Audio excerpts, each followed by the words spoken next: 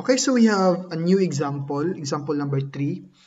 A 70 millimeter wide by 3 millimeter thick steel plate is connected to a support with a 16 millimeter diameter pin. The steel plate carries an axial load of 8 kilonewton. Determine the bearing stress in the steel plate. So we have a steel plate, this one, and it has 70 mm wide and it has a thickness of 3 mm. Then it is connected to a support you know, with a 16 mm diameter pin. So the diameter of this pin is 16 mm. And then the steel plate carries an axial load of 8,000 newton. So determine the bearing stress in the steel plate. Okay, so take note there is a um, there is a contact no between there is a surface contact between the rivet okay or the pin and the steel plate. So what is our air bearing area in this case? Our bearing area here is if we try to project this one, so our bearing area is this one, which is rectangular. That is the projection, no? This one here, that the project the projection of the pin and the steel plate. Okay, so we use the formula bearing stress is equal to the axial load over the area. The bearing stress here is unknown. This then we have um, the P or the the axial load that is 8 kilonewton. So we multiplied it by 1000 then we get 8000 newton over the area. Now the area is the rectangular projection that is just the thickness Okay? So, if we try to draw it horizontally, so ito yung makikita natin, this one. So, if we have our pin there, so we have the projection, this one, okay? That is the thickness times the diameter, okay? Diameter of our bolt. So, therefore, we have the thickness that is equal to 3 mm, correct? So we have, uh, since the thickness of, of our plate is 1, 3 mm. That is 3 mm times the diameter of the pin, 16 mm. So we have, this one is 16 mm. So if you multiply mm here and we have millimeter also here, so the if you multiply both numbers, so we come up with millimeter squared. So our bearing stress here that is equal to 166.6 667 megapascal. So this is your answer. Okay, so we have example number 4. The lap joint shown in the figure is fastened by a 3 4 inch diameter rivet. Calculate the maximum safe load P that can be applied if the shearing stress in the rivet is limited to 14,000 psi and the bearing stress in the plate is limited to 18 kilopound per square inch. Assume the applied load is uniformly distributed among the four rivet. Okay, so we have four rivet. Okay, and this rivet joins two metals, no? And this metal is 4 inch wide and 7 8 inch thick. Okay, and our rivet has a diameter of 3 4 inch. So in this problem, we are asked to compute for the safe load P so that our rivet has a shearing stress not exceeding 14,000 pound per square inch and the bearing stress in the plate should not exceed 18,000 pound per square inch. Now take note that the P here or the load P is divided or uniformly distributed in the four rivet. So therefore each rivet is resisting one-fourth of the load P. So divide lang by 4. So therefore, in this case, it's P over 4 and this one is also P over 4.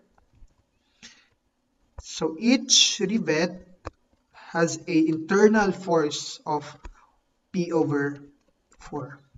So the first thing we do here is to compute for the required P considering the bearing stress in the plate. So let's try to compute for the P using the bearing stress. So from our formula, the bearing stress is equal to P over A. Okay? Now, what is our bearing area? Again, the bearing area is the the surface or the area of contact between the rivet and the and the plate okay?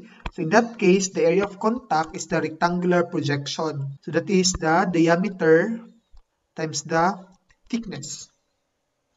This is the diameter of the rivet times the thickness of the plate. Again why is it? So if we try to draw the contact that's area of contact. So this is the area of contact. And this one here is the diameter of the rivet and this one is the thickness. Okay? So if we cut any section. So we have here however our internal load internal load p here is one fourth correct? So therefore that is the bearing stress is equal to p over 4 over the diameter of the rivet times the thickness or the area Okay, so we have the bearing stress which is equal to 18 ksi or that is 18,000 pound per square inch. This equals to P over 4. Now the diameter of the rivet is 3 4 and the thickness and the thickness here is 7 over 8. Okay, the thickness of the plate, this one. So therefore, the value of P here is equal to 47,250. Now take note, um, we have um, unit for area is inch squared, tama? Then we can cancel out inch squared and the inch squared. So the remaining unit is in terms of pound. Okay, so this is the um, the load or the required P by considering the bearing stress of the rivet. But it doesn't end there, so we need to compute the P required for the shearing stress. Okay, from the formula shearing stress, we have um, V over A, correct? Again, so if if you have not, if you are not yet familiar with shearing stress, you can watch my video in my channel. So we have the shearing stress here that is 14,000. Okay, 14,000 pound per square inch. Okay, now take note, each volt is resisting one-fourth of the load P, correct? So therefore, our internal shear, that is P over 4. Now, our area here is in shearing, in shear stress, the shear area is parallel to the shear force. Now, in this case, our P over 4 is parallel to the area or parallel to the cross-sectional area of the rivet. So that means we have the area of the rivet pi over 4 times the diameter of the rivet that is um, 3 4 squared okay from the area is equal to um, pi d squared over 4 the area of the circle so we have p here equals to so 24,740.042 now take note we have two values of P here. Alin sa dalawa yung i-adapt natin as our load P? Okay? Now, take note, if we adapt 47,250 pound as our load P, maaring safe siya sa steel plate kay since steel plate is 18,000 pound per square inch lang siya. However, hindi siya safe sa rivet. Since ating rivet could only resist 14,000 PSI. If we use 47,250 as our load P, so maaring ating shear stress would be greater. Okay, mas tataas yung ating shear stress. But take note, 14,000 14, lang yung allowable shearing stress ng ating rivet. Okay, that? So if we try to use this one, it would cause failure sa rivet. So therefore, it is safe to say that our safe load P here is 24,740.042 pound. Now, this one is the safer load P. Now, since again, 24,740 would give us bearing stress like lesser than 18,000 and shear stress equal to 14,000 psi. Okay, that's it for the bearing stress. So if you have question, you can comment it down. Okay guys, so thank you for listening.